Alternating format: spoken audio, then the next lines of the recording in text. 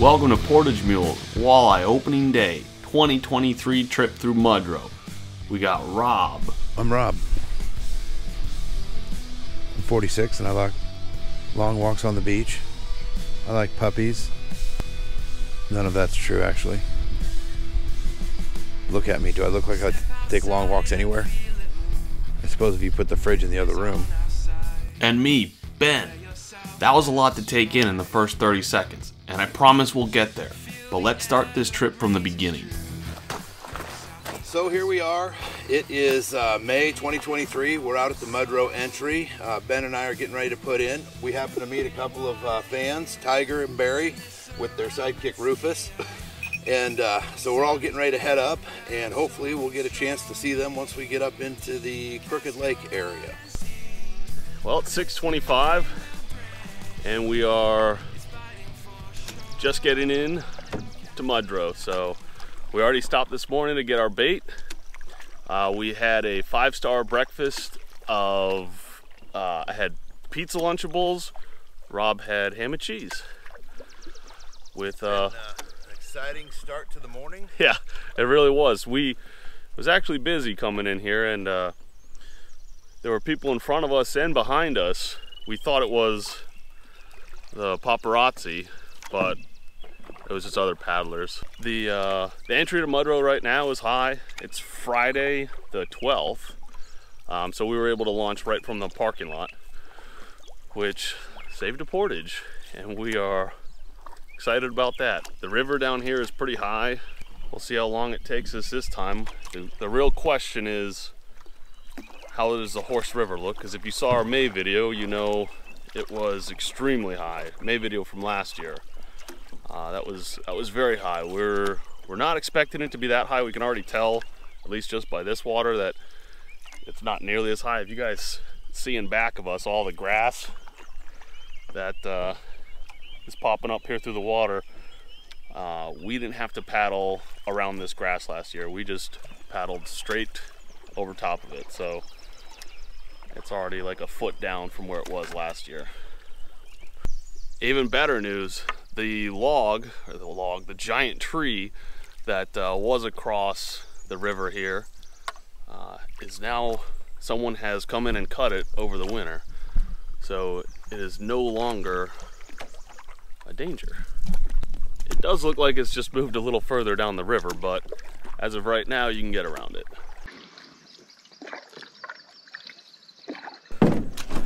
It's 7-Eleven.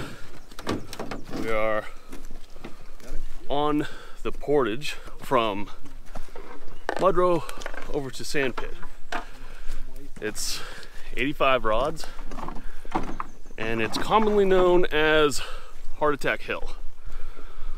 But from this side, from going in, the Heart Attack Hill is going the other way. So it's not too bad, but it's a little early for this. The weather for this week is, knock on wood, supposed to look pretty good. It's actually pretty hot. Yesterday in Ely it was 80 degrees. Today it's supposed to get to 75. So for the beginning of May, that's doing pretty good. But it is supposed to get a little colder, high 60s for the rest of the week. And of course, there'll be rain sometime. But the ice out happened earlier this week, so that's awesome. We were a little worried. It was pretty late this year, so I know some people were some people further east the the lakes are still iced over in the boundary water so when I, we were telling people we were coming up here they were asking if we were bringing our ice skates because of the amount of gear we bring Rob and I do have to double portage which just means we take two trips because we have two packs the food pack and the canoe of course we'd like to get it down to a single portage but not with the stuff we bring. 7.30, we are done with Heart Attack Hill. We're in Sandpit. Thought we lost a paddle, thought we lost a life jacket. but we found both of them. If it was a snake, it would have bit us. It's 8 o'clock. We are on the portage from Sandpit over to Tin Can Mike, and this portage is awesome. It's 137 rods, but it is completely flat. It's a little muddy this time of year, but not as bad as last May where it was just a river. But we should mention a rod is the equivalent to 16 feet. And for our Canadian viewers, that is 5.0292 meters. And a little known fact, do you know why it's called the rod? Because Rob was already taken. Nope. Oh. It was invented by Dennis Rodman. He was an amazing backpacker, portager, and outdoor canoe enthusiast. He was also pretty good at basketball. So the guys we met at the parking lot, Tiger and Barry, are also going to be going down the Horse River. So we're all a little nervous uh, that it might be a little high water. So we're all going to try to traverse the river together, just kind of a strength in numbers sort of thing. But I think that's awesome coming out here in the camaraderie between the paddlers. 8.30 and we are in Tin Can Mike. So I should say none of these these first couple legs, Mudro and Sandpit and Tin Can Mike aren't aren't very big. So when we're loading the packs, you know, yeah, we're keeping them low and in the boat, but we're not working too much at trying to distribute the weight too evenly.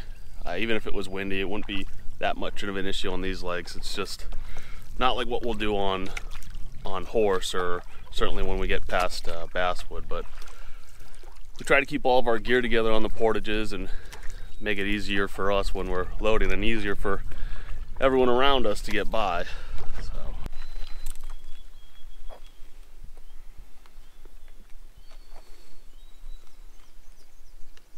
First candy stop of the morning. Off a of Willy Wonka trail.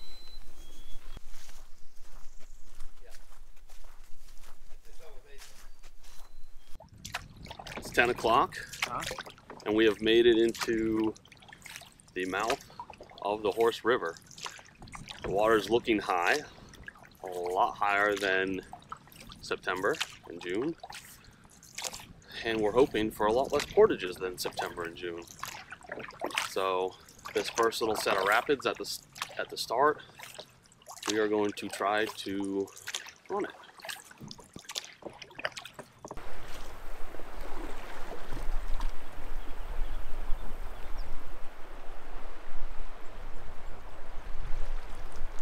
Although it may not look like much, it's still super nerve-wracking running these rapids. One little mistake could be pretty bad and lead to some pretty wet gear. Or worse, wet snacks. We were able to do it easily, and Tiger and Barry behind us had no problem. The first official portage on the Horse River is pretty flat, pretty easy, and has a wooden walkway, but it can get muddy and slippery when it ends. And it's on the south side of the river, not on the north side as most maps indicate.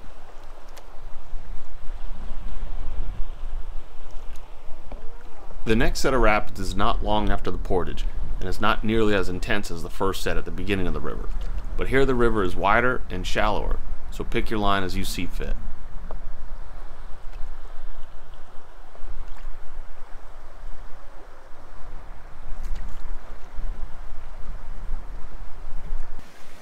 It's 11.15, we're done with the second portage on horse, and we're gonna transfer our minnows from the bags that we picked up at the bait store into our bait caddies now. Um, we do this, it's been six hours since we picked them up. We got them at 5.02 this morning and they typically last about six to eight hours uh, in those bags. So they're probably starting to warm up a little bit and uh, running out of oxygen in the bag. So we've made the mistake of waiting until later to transfer them into our bait caddies and it didn't work out so well. We, we lost a lot of minnows. So we're gonna do it now. The downside of that is we still have two more portages to do. Um, so we're just gonna have to hand carry the bait caddies as opposed to leave them in the packs. But it's well worth it if it keeps the minnows alive. Are we there yet? It's just around the corner. Are we there yet? Uh, just a little more. The last portage on the Horse River is always kind of a muddy mess. It has a little bit of an incline both ways, but nothing crazy, and it's 73 rods.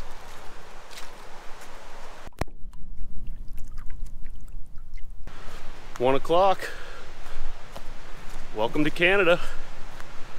We are on the portage around Lower Basswood Falls, and it is super high, and we could hear it for miles away. The current's going really strong. You have to be real careful getting up to the portage because it's right at the mouth of the rapids. But it's a short portage, just kind of up and over this little hill.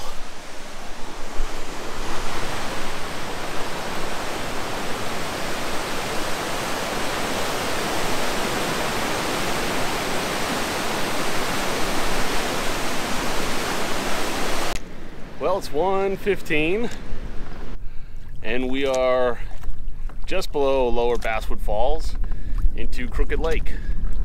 So, not making the best of time, but it's not too bad. The lake really opens up below the falls, so have your map handy. After about 30 minutes, you'll come upon amazing cliffs on the west side of the lake and be able to see pictographs painted on the walls. There's supposed to be pictures of a horned anthropomorphic figure, which I googled for you. It means an animal having human characteristics, a shaman in a sweat lodge, figures of canoes, heron, pelican, moose, elk, and a sturgeon in a net. After a couple more hours of paddling, you'll reach Wednesday Bay and the site of Table Rock, now almost completely covered.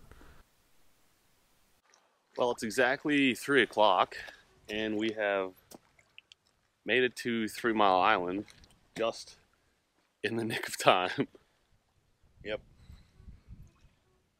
So we've come up with a new scale, the MTM scale, minutes to meltdown. What are we at? And it's on a scale of zero to ten. Uh, we're at a, we're at about a one right now. I mean, Serious? I mean, yeah, it came down after coming here. Oh, okay, okay. Yeah, but you haven't you haven't had your Snickers yet. No, but I I I did eat two Tootsie Rolls and some Sprees. That helps. Did. But Rob did bring a Snickers this time on his own. I did. And where's it at? I think it's in here. So I need to explain something to Rob. There's several different sizes of Snickers, and there's the minis that you know they hand out for Halloween. There's the fun size. They're just about two minis. There's a regular size, a king size,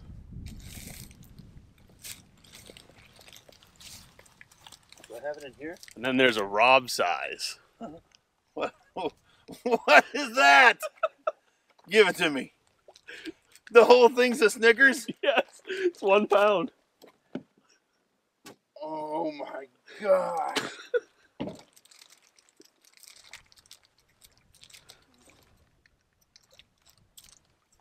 This is unbelievable.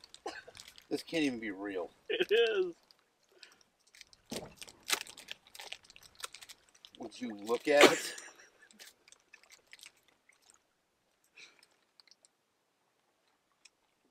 That's ridiculous. You gotta eat up. Has to be gone before we leave the island.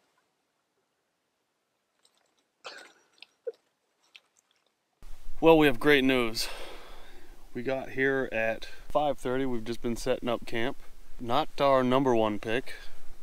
Probably won't even make it into the top 10, but all of the spots around here were taken. So we paddled all the way to Thursday Bay and there was still nothing in there. So we came back to the last spot open down here. Rob did give it five star rating. It definitely deserves five stars if there was uh, out of 20. Yeah. So it's not the best, but we're setting everything up. Uh, we were going to cook steaks tonight, but they are still frozen solid. So we will do the jalapeno cheddar brats. Onions, And peppers, and potatoes. potatoes. Rob's manning the fires. Favorite activity. Yeah. Especially when it won't start. He loves it when it won't start. It is uh, about 8 o'clock the night before the walleye open. Make sure that you plan for all sorts of things. Um, today we had a hard time finding a campsite. You got to have contingency plans. I'm too out of this to do this. I don't understand why those other people are faster than us. You know, we thought we packed lighter. We made, I mean, we made good time, I thought. But I mean, it's 8 o'clock and we're just now getting things wrapped up and we we're up at four o'clock. So yeah, it's it's a rough gig. But if somebody was behind us, I don't know where they would go. There was one group that came in late. Yeah, that's right, there was. There's not gonna be a spot till So even when you think everything's going to work out perfect, it may not. So right now I'm just totally wasted, tired. We paddled all day, portaged all day. It was just long. But be aware that, that that's the nature of the beast sometimes. In order to come out here and have fun, sometimes you got to work super hard. Well, good morning, everyone. Welcome to the opening day of walleye season in the Boundary Waters. Ben and I are getting out now at about 7 o'clock. It's about a uh, 20 minute paddle to where we're going fishing today. And this morning we're going to be fishing with jigs and minnows. We're using a 3 ounce jig. Ben's going to be on a blue, yellow, and orange. Three eighths ounce. Did I say three ounce? Yeah. So we're going deep today. um, yeah, sorry, three eighths ounce, uh, three eighths of an ounce jig. Um, the water, as we paddled through it yesterday, going over to Thursday Bay to look for a campsite, is moving very swiftly. Um, it's moving faster than any time we've been up here before. A lot of people don't bring anchors with them and that is a key. If you come up here, you've got to bring an anchor. Uh, we use a basketball hoop with some carabiners to lock it off, and then a just a small anchor rope. That way, when you get up here, you can just pick a big rock to put inside it. We are just now getting close to our spot. I'm going to show you. So here we've got our We've got our anchor. Ben got it all set up this morning. This is what it looks like. It's just a put together with a couple carabiners. Ooh. I'd say we're ready to maybe we've got a long rope, so you want to drop here and see what happens? So I had misspoke earlier and said that we were using three ounce jigs. And now that we're in our spot, I think we need three ounce jigs. I have got this 3 eighths and I cannot get on the bottom.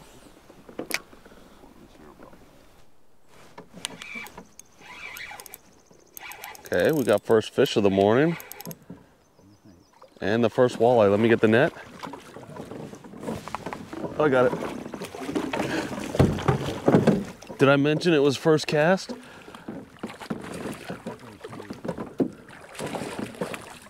I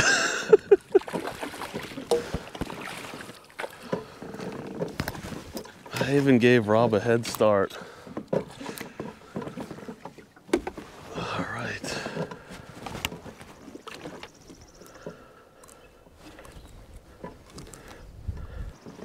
First cast, first fish.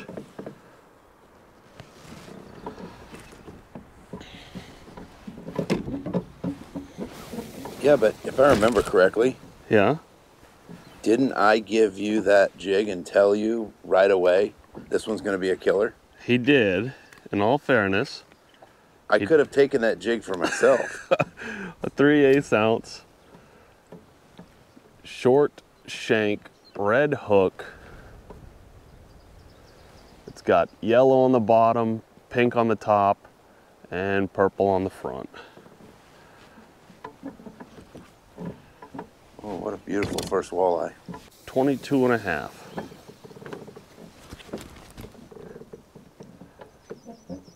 I like it. We're uh Another fish. First for me of the day. Let's see if we can bring it into the boat.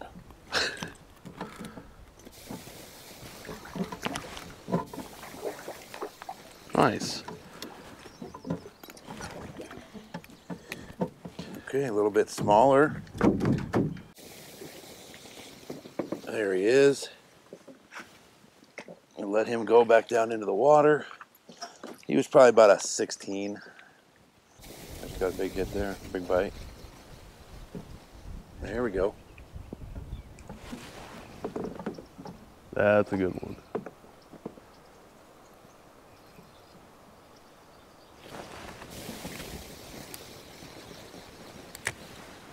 Little walleye. Little one. Oh. Just a little guy. Coming in about 14 inches.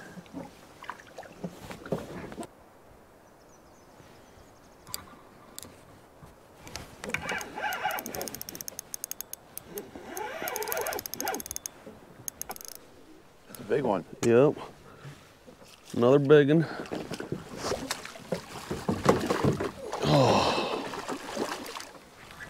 Got a double.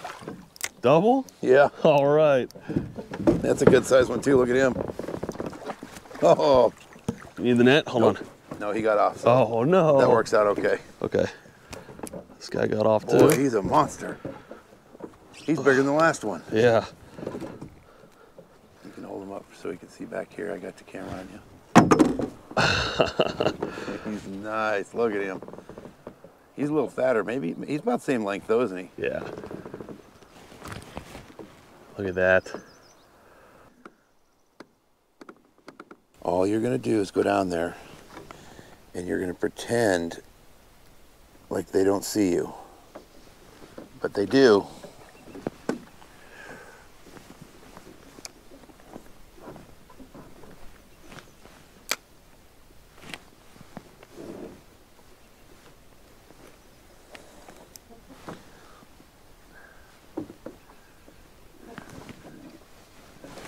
That quick enough for you? No, little guy. Don't lose my don't lose my minnow. He threw it. He threw my minnow. So just a little guy. You need a heavy enough jig to be able to feel the bottom. So in this current, seems like the 3 8 ounce is working pretty good. Kind of bouncing it along the bottom, raising it up slowly, and just bringing it back down. It's all slow. I think because the ice out, you know, just happened earlier this week, so I don't know. I don't think the fish are moving too fast. Ooh.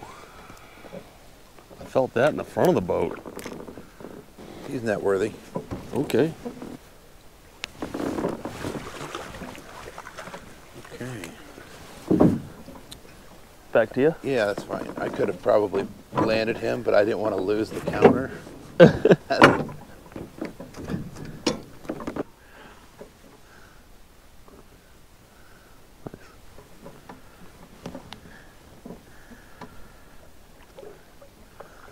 into the deep. So okay. we can drift down a little bit. Oh. Go! the big one. Oh, he is big. Oh, we're gonna need the net. Stay on, buddy, stay on.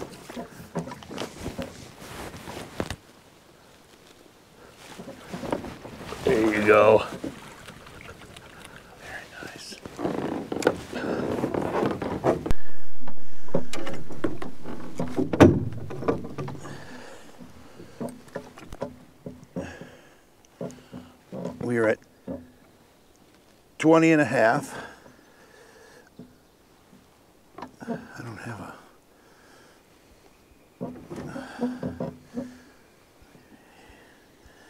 He's been hit on by a northern.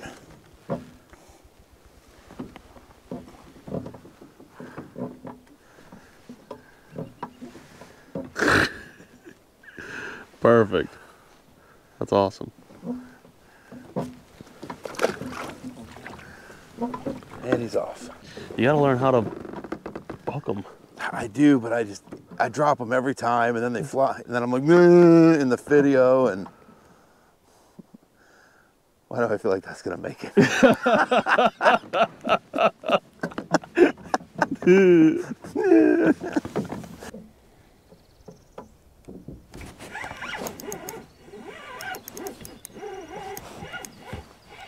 There we go. Smaller guy.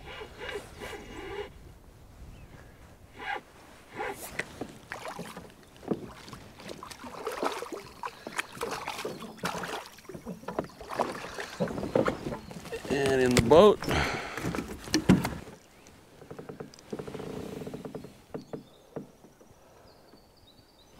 Where's he at? 16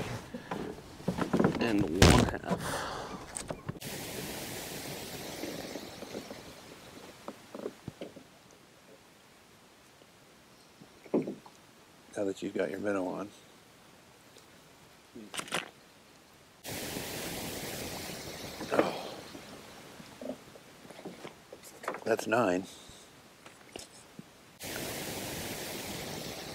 He's a cutie.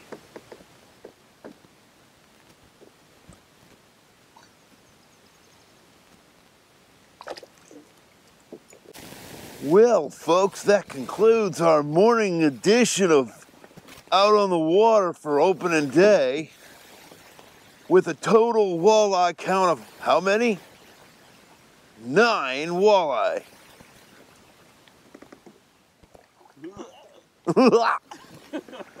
we'll see you soon. The first day means a big breakfast. We normally eat what we call pre breakfast, such as a granola bar or Tootsie Roll, before we go out fishing, and make a real breakfast after fishing for a few hours. We bring one egg per person per day and pancake mix that only requires water.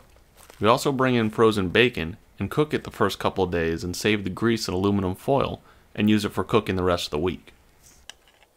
Some people ask why we prefer to go for walleye, and the answer is because it tastes amazing. Rob said that he'll keep eating walleye until he can fish for chewy sprees. But until those are in the lake, he'll go for walleye. Hello again. It is still opening day, 1:45 in the afternoon. And we are heading back out to fish. Would you like one? Yeah. That was the perfect throw. In my face. It was not your face, it hit your life jacket. It hit me right here. It's not your face. But it was pretty much my face. my face is long. It's like a horse.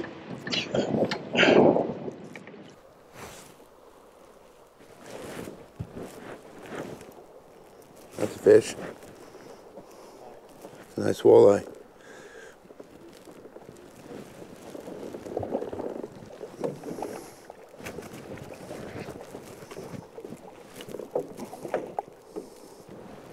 Going up and over.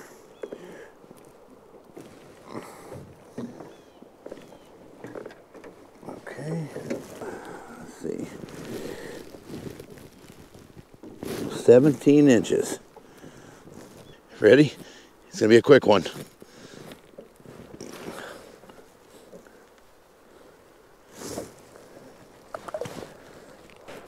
So those of you who are watching, just goes to show you how important the anchor is. Without that anchor, you could not fish this area. Oh, just had a hit. All right should say more than a hit. He was on there for a second. and there he is. Nice.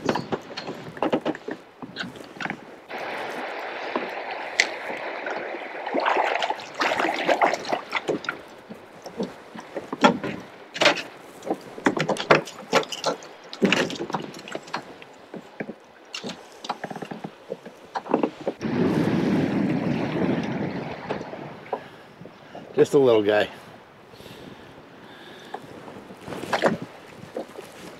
And he's off. I'm going with a blue and chartreuse glitter. Look at that. Look at it, would you? Just look at it. Red shank long. There's a fish.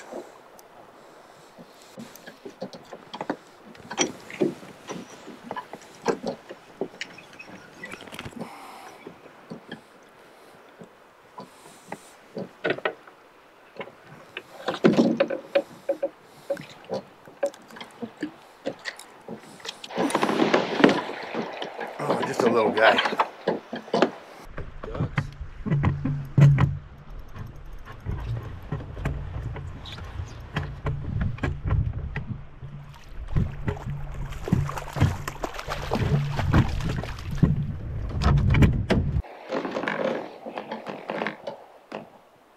He's about a 16. Got a little measurement on him. He is 16, just over.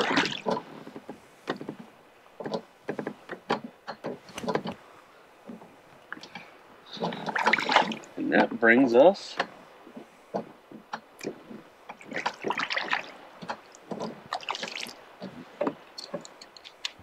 Uh-oh, What? number 13.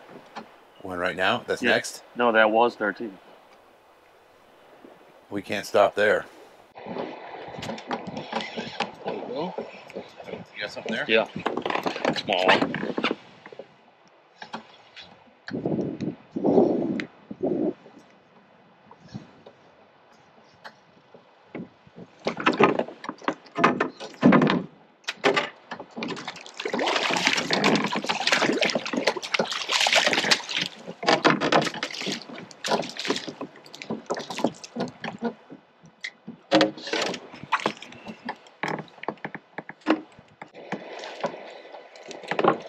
And finally, there you go.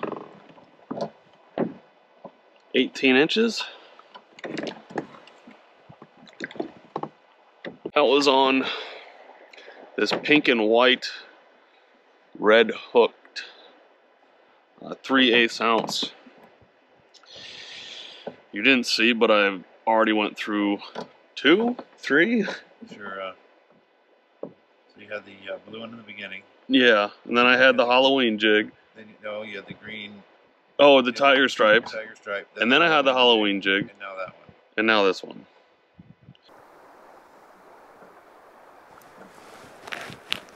There's a fish. Let's just see if we can keep him on.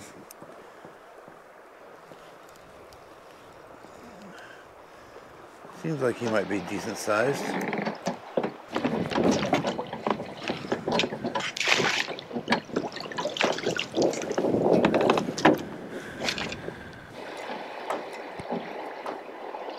That's him. That's him right there. Beautiful. 16. Well, we just got back from our afternoon fishing and we're out on the hunt for wood and got to see that grouse. That was pretty cool. I, we hear them all the time. I've seen them elsewhere, but I've never seen them up here. And I think it was just this afternoon we were hearing the grouse, and Rob said, That thing's got to be right behind our camp. Tonight is gonna sound a lot like last night. Potatoes, peppers, an onion, but instead of jalapeno cheddar broth, steaks that were frozen yesterday and are now room temperature. Rob is going to flavor the potatoes and onions and peppers with essence of Emeril seasoning.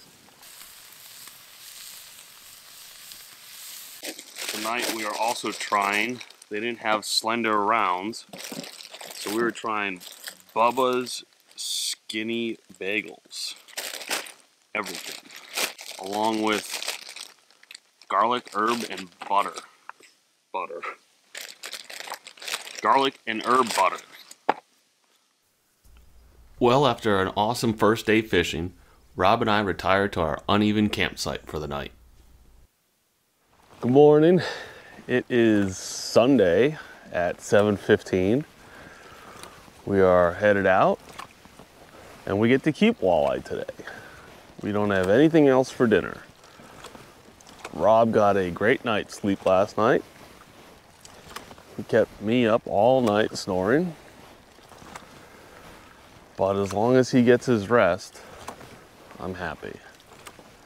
Our walleye count is at 15. And I think only one of them was under 15 inches.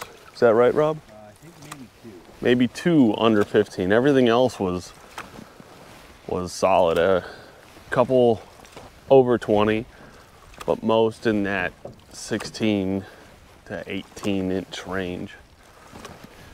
If we can get a fish for dinner, we will be happy. Rob had a breakfast of, or should I say pre breakfast? Rob had a pre breakfast of Snickers. I myself did not indulge in that. I went for Reese's instead. Much much healthier. I'm I'm very health conscious.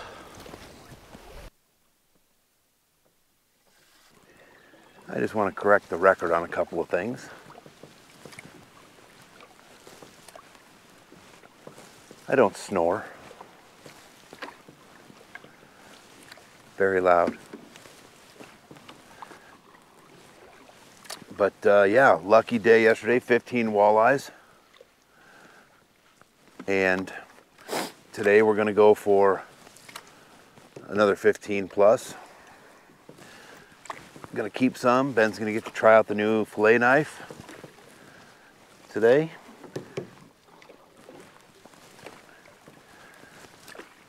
I did have Snickers for breakfast, I won't lie. And uh, I did bring my other pre, can anyone guess what it is? Pre-breakfast Tootsie Roll.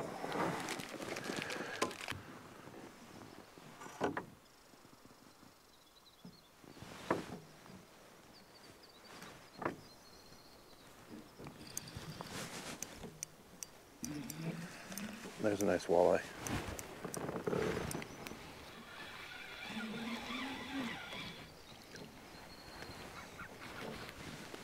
Oh yeah, Want the net? yeah.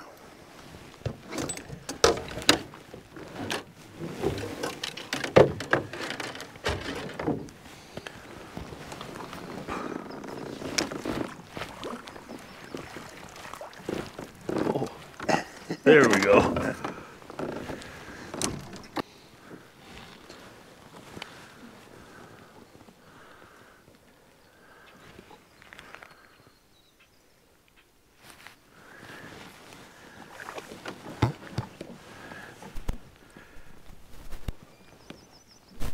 Ah, Here's what we're looking at. Nice, big, beautiful walleye.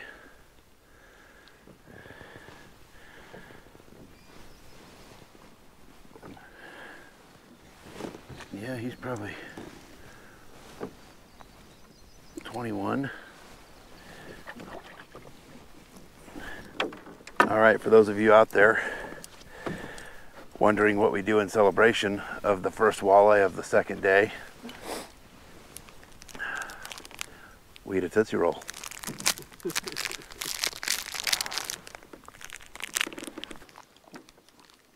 I don't recommend a candy diet unless you're an elf. But I do have a cat named Buddy. So that puts me close enough. There we go. Fish on. Yeah, he looks like a nice one. Yeah. Oh boy, that could be a northern. No, it's not.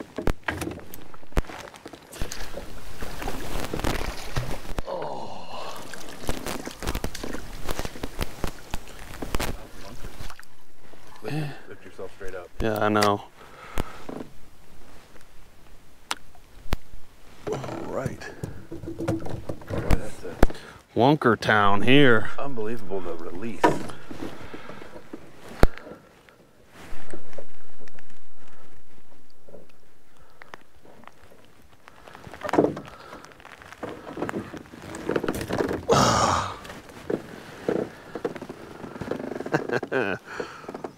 Come back this way too.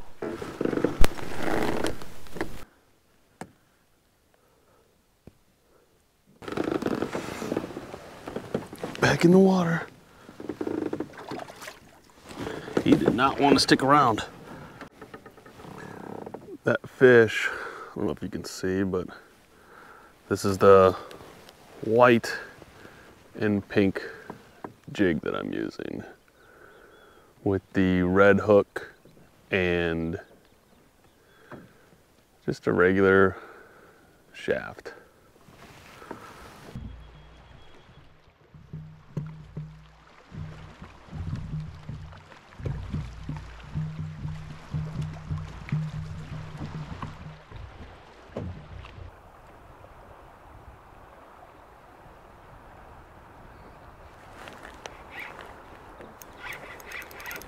Okay, we got something.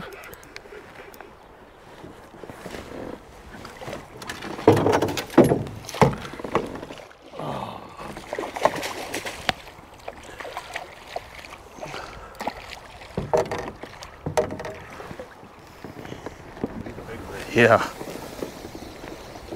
He's 20 inches probably. Oh yeah.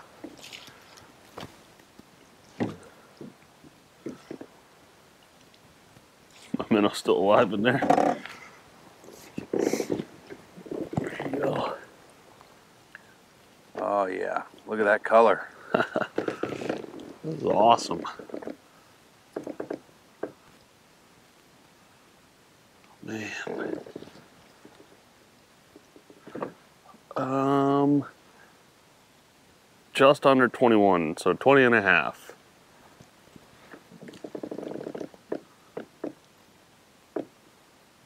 So cool. It's like holding a block of ice. That one was on the same pink and white jig.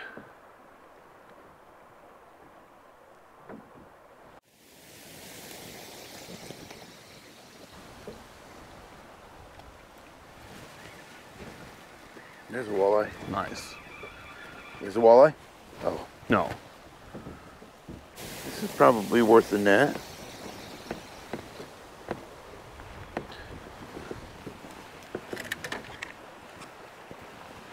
Here he comes. Oh, I just got him hooked funny or what?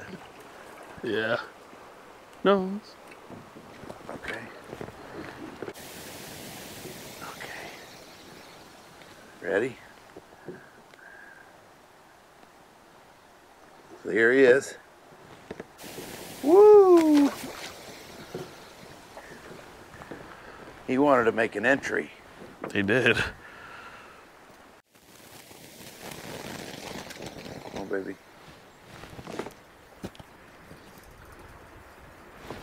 That's a good fish. This one is? Yeah.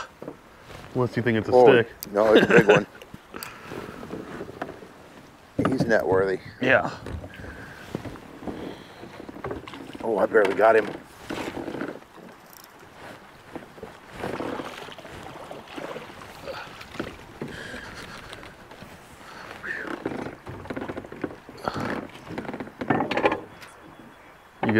Yep, thank you.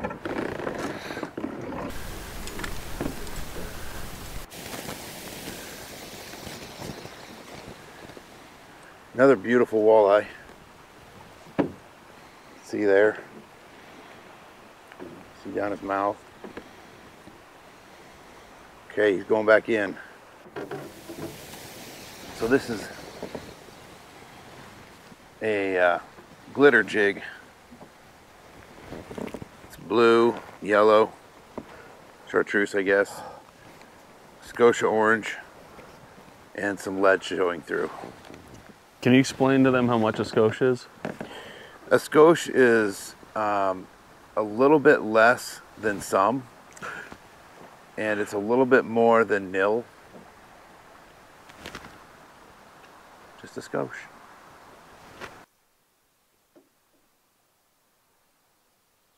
Son of a gun. Oh, you're a fish.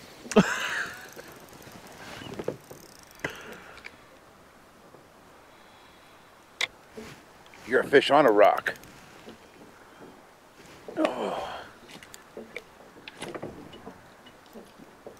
A massive something or other. It's a There was definitely a fish there. Mm-hmm. Mm-hmm. And there was definitely a rock involved. And I just don't know how it played out, but that thing just snapped. It's probably a 10 pound walleye. Well, I think it probably was. And I think that was the problem. Is it was such a lunker, I thought it was a rock.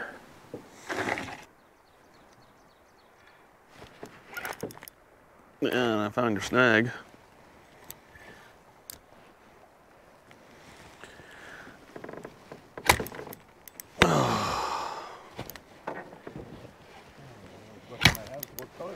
Yeah.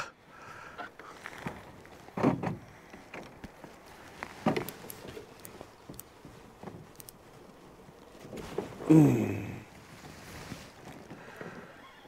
I'll just keep using this pink one.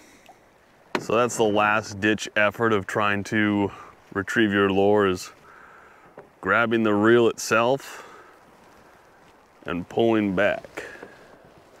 Make sure you got a good solid grip on it.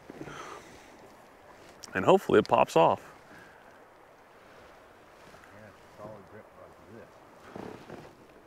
Yes. Use Rob's Tootsie Roll grip. I only have one of these. Would you like this? It's a it's a shiny glitter ball.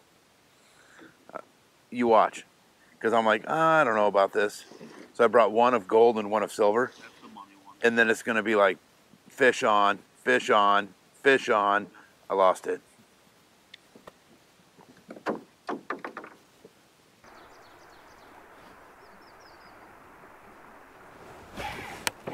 There we go.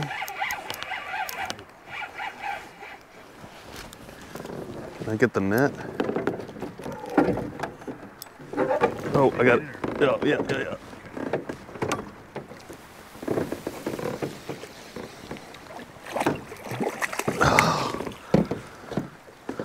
Another big boy. She's a beauty.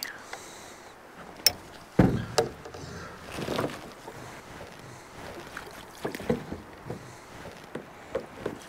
we go. Whoops. Caught on my new disco ball jig.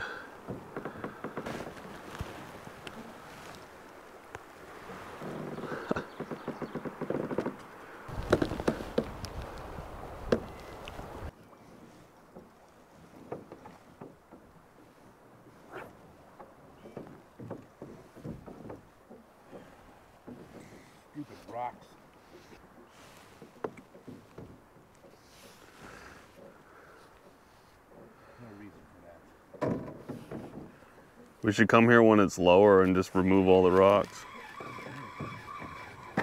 Why doesn't the Forestry Service do that? Yeah, Forestry Service. Why can't you at least mark where the rocks are? I don't know what is inside of this inside of this thing. It smells horrible Instead of what? inside of this bucket of this my tackle box. I mean, it literally smells horrible, and it's brand new. My MTM scale is non-existent. Like, yeah, I mean, I'm fine. After a few hours fishing in the morning, we head back upstream for our real breakfast. Instead of paddling up the fast moving water, we walk our canoe up using the line from our anchor. We normally try to have our dinner walleye on a stringer by this point, just in case the weather turns bad or something prevents us from fishing later. Just be sure to give it a long enough lead so that it can swim fine, so it stays alive, and also allows it to escape from predators above and below. Sunday afternoon, 3:30. We had a great breakfast. We made bagel sandwiches, bacon, eggs, everything bagels. And it was absolutely amazing and we have to figure out a way to bring cheese up here so we can have bacon, egg and cheese on a toasted bagel with garlic and herb butter it hit the spot. We checked on Gary the grouse. He's still doing good. He's up on his perch.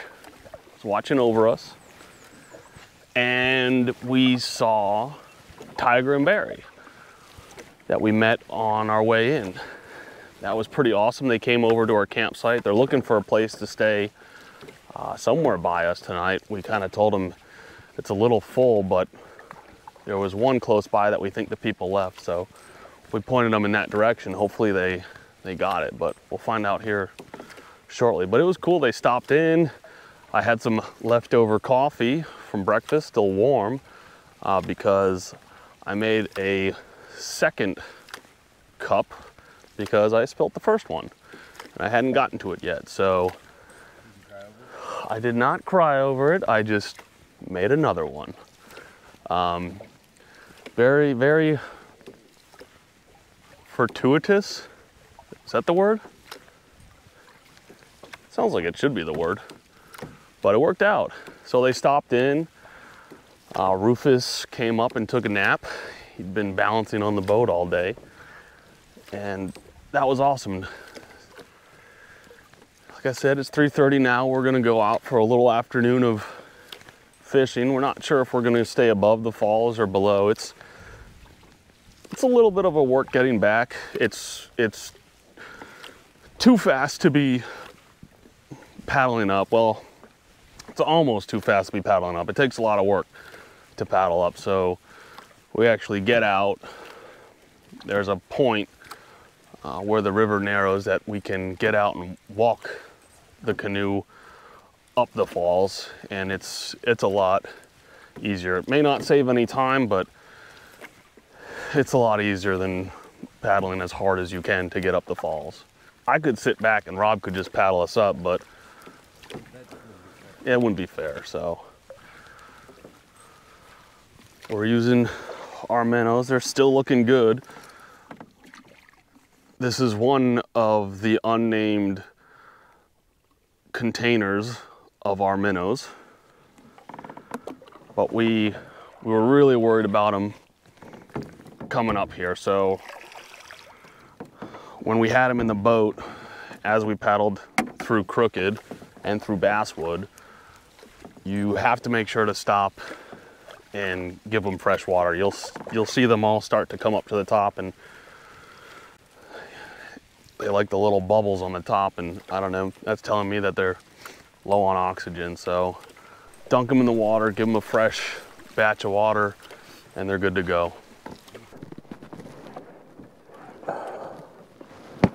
So we went to our area above the falls. Had a little bit of a meltdown. The anchor rope was all tangled up five ways from Sunday. I mean, I was ready to cut the anchor rope. So, uh, I, I, I couldn't tell you what the outcome would be at this point. I just know that at that point I was ready to cut the anchor rope. You gotta put a number on it. Out of what? I was probably, uh, for a moment there, I probably peaked at a good solid eight. And I'm down now, I'm back down to zero. Um, we're starting over. But we're gonna head down below the falls. Um, it's a little uh, harder to get to. Well, I take that back. It, it's easy to get to, it's harder to get back. You just go with the, literally go with the flow. But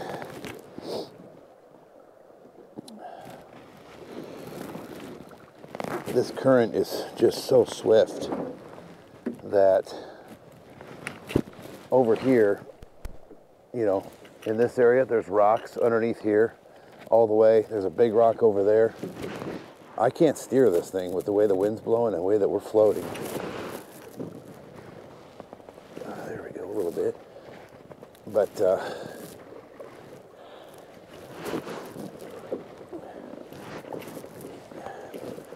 yeah, this is wanting to take us the other way.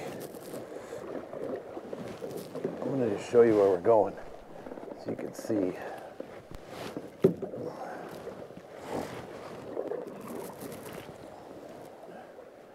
what we're talking about. So we're just gonna ease down the middle of this and just kind of go with the flow until we can get past it. There's a lot of whirlpools, a lot of things that'll make you spin. So you just want to get in and get out. Like there's a whirlpool there. whirlpool here, going through another one.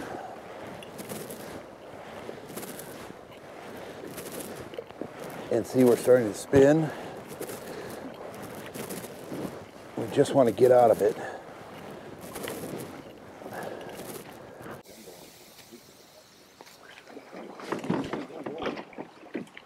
Holy cow, that came out of nowhere.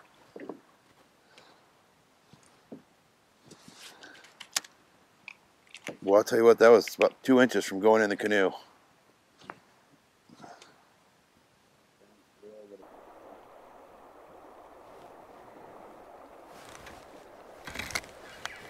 There we go. Small, small. Might even be a bass. No, it's a small walleye.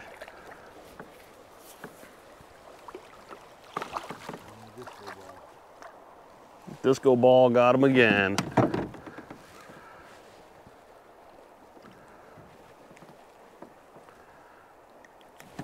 Ah, there you go. No, no. Ah, away he goes.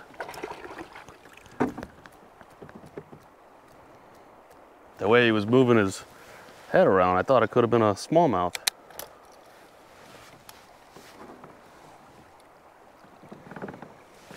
Brings us up to 22. I think he was about 14 inches.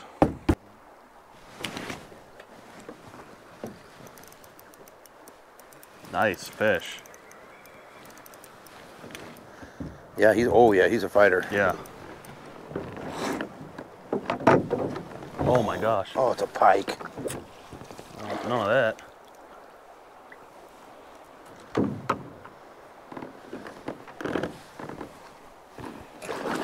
He's gonna get off. He's gonna break the line. Look at that hook. It's up through the top of him. Yeah, he's not. You're. He's not getting off.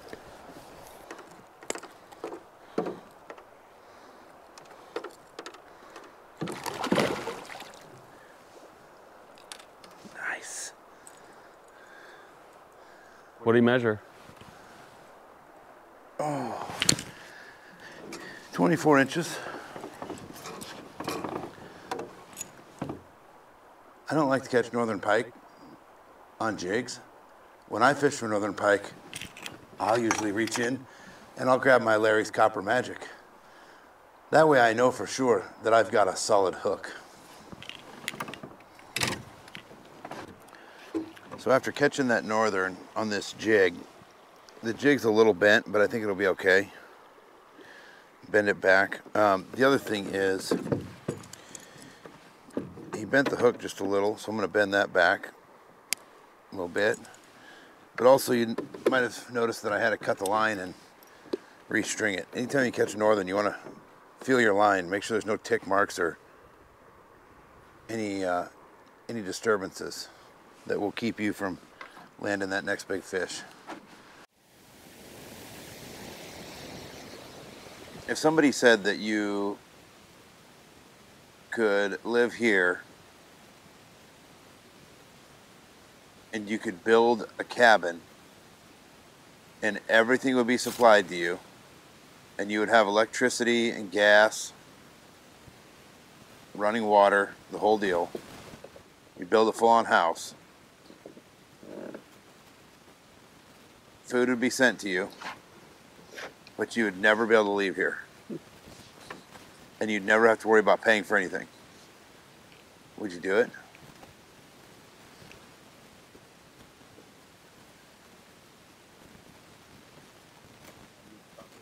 Oh, I was thinking the same thing. Like, I couldn't do it without Mexican food.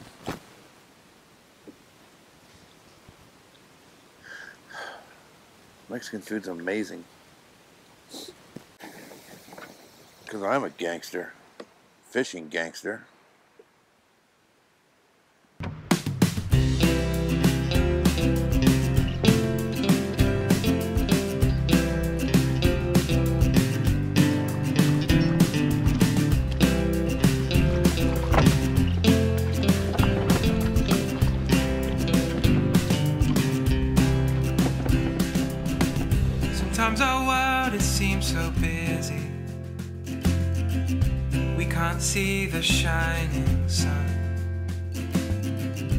Step outside to see the light. The morning air, our journey's just begun. It feels so right. Let's stay the night.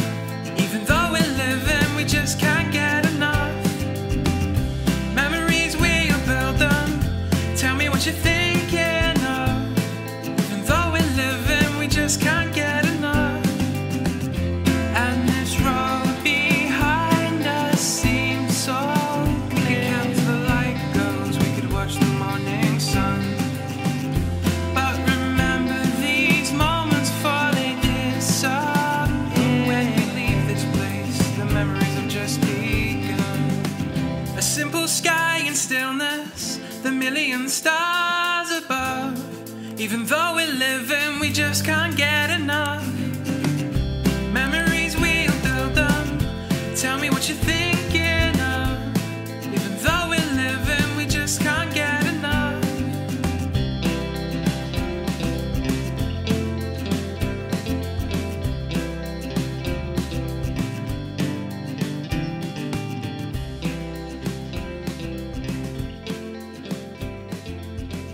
Good morning.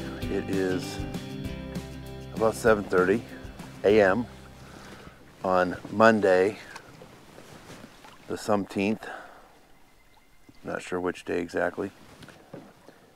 We're getting out for our morning fishing, and then we will be returning for lunch with uh, Tiger and Barry. They're going to meet us at the campsite, and we're going to do a lunch today. Last night fishing was a little slow, although Ben caught most of the fish and caught a massive 26 inch, 5.64 pound walleye. And I want to think, I'm not a walleye expert, so I uh, I may be incorrect in this analysis. Um, but I want to say that we are very, very close to this uh, spawning season, so pre-spawn. We're noticing that these females are extremely large. We're talking about the walleye. And uh, most likely full of eggs. Man, I'll tell you what, look at the look at the reflection off of here on the right side. Oh, left side too. Get, can you get a picture of that?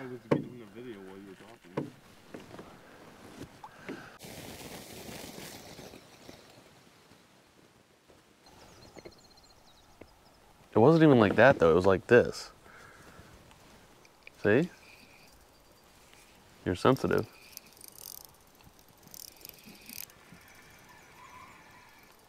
That's a bigger walleye. Oh, about ripped it out of my hands. But he's not that big.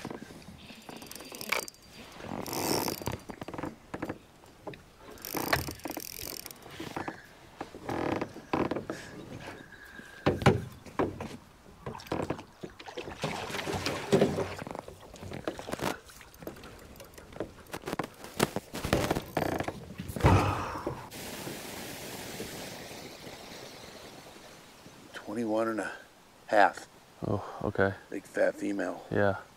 Back in, yeah? Oh, yeah, you guys want to see that? Look at that fin. Oh, it's speckled. See the speckles?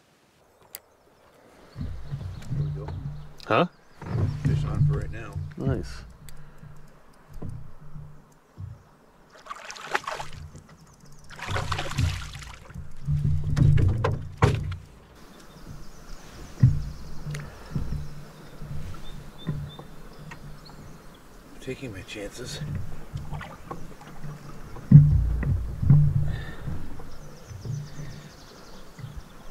He's only 16. Go back.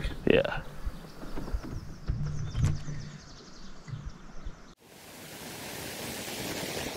So today we're using old crusty eye jig. You can see he's got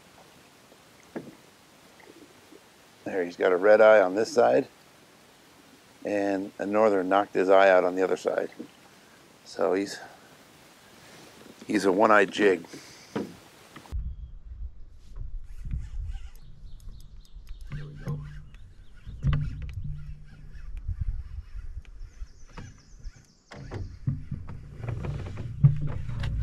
You want the net or? Yeah.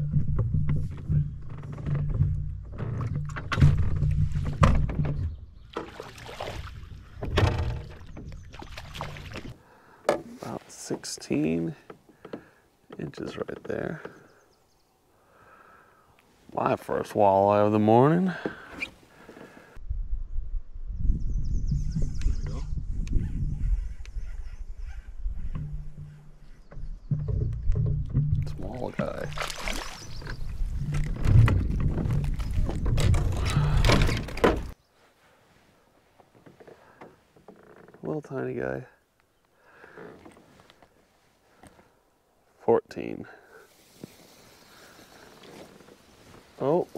Double. Does that count? No, I already have mine off. Yeah, he's a small one too. Don't don't flick my. Too late now.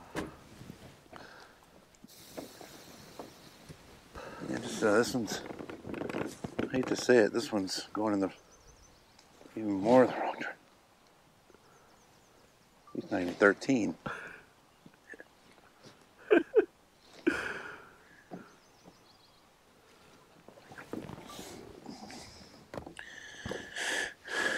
Send me on my way. Ooh, send me on my way. Send me on my way.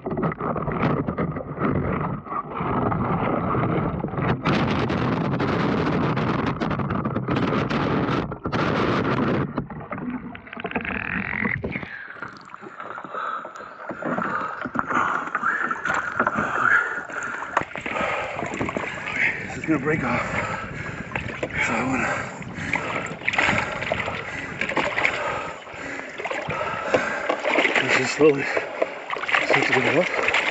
What's that?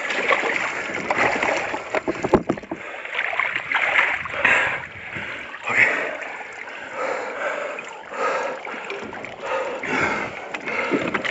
Okay, good. Just get in this heady.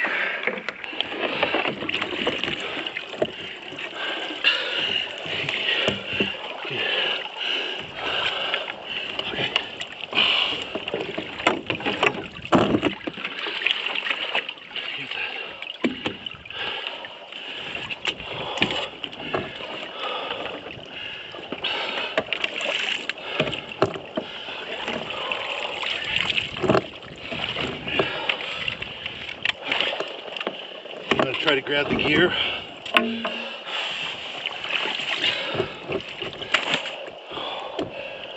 Well, I tried to save one pull and lost three. Okay. I might have ruined the GoPros. Oh, there's one. Oh, there's one. Wait, Where? Grab, can you grab that? Just try to clear the gear. Yeah. Did we lose the other paddle? There's three. Where? I have one up there. Okay. That's still on my fish, I think. No, your fish is floating in here.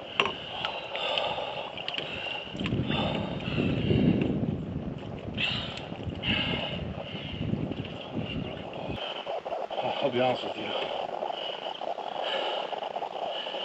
Not that it matters, but you're. I'm so thankful for you being out there right now.